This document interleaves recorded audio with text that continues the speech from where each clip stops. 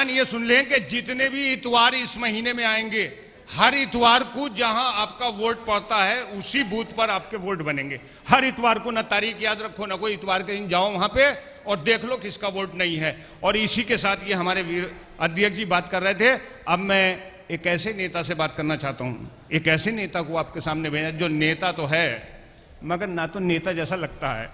ना उसका बिहेवियर नेता जैसा है। क्योंकि हमारे कार्यकर्ताओं के साथ सुबह सात, साढ़े छः बजे हम लोग बिल्कुल तैयार और काम में लग गए। कार्यकर्ताओं के साथ कार्यकर्ता है और नेताओं के साथ अगर विधान, संविधान परिषद में भेज दो तो सबसे बड़ा नेता दिखाई देता है, मेरी मुराद है। हम सबके नेता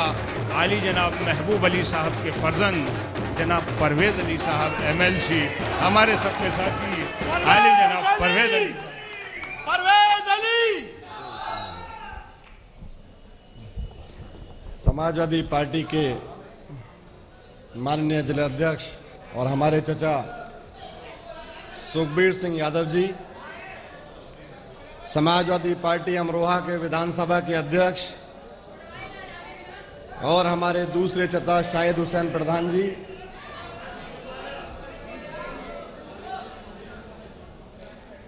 मेरे नेता और मेरे वालिद,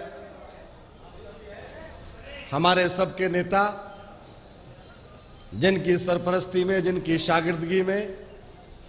हम लोग समाजवाद की लाल टोपी, हम लोग ये सीखने का प्रयास हर दिन करते हैं उनसे कि कैसे रोते हुए आदमी के आँसू पोछे जाएँ,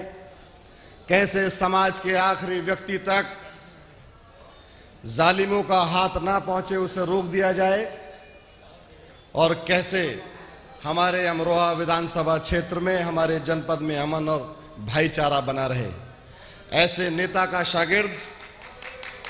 और समाजवादी पार्टी का एक कार्यकर्ता होने के नाते और आप लोगों जो मेरे सामने बैठे हैं और मंच पे बैठे हैं,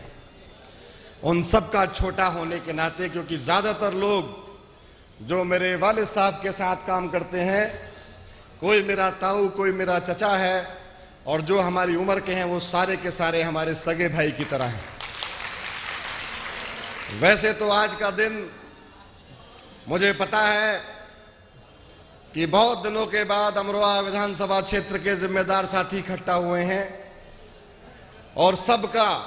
मेरा, सबका मन यह है कि हम अपने नेता महबूब अली साहब को सुने। मैं उनके और आपके बीच में बहुत देर नहीं खड़ा रहूँगा, लेकिन मैं आपसे सिर्फ़ इतना कहूँगा कि अमरोहा विधानसभा में पुलिस प्रशासन, सरकारी विभाग सत्ताधारी पार्टी के नेताओं के जुल्म जो हो रहे हैं, वो एक एक जुल्म महबूब अली साहब की नज़र में है साथियों।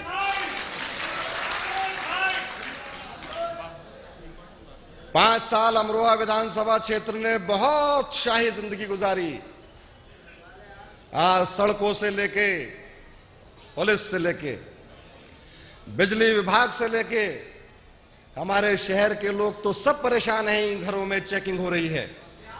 लेकिन देहात की स्थिति भी यही है।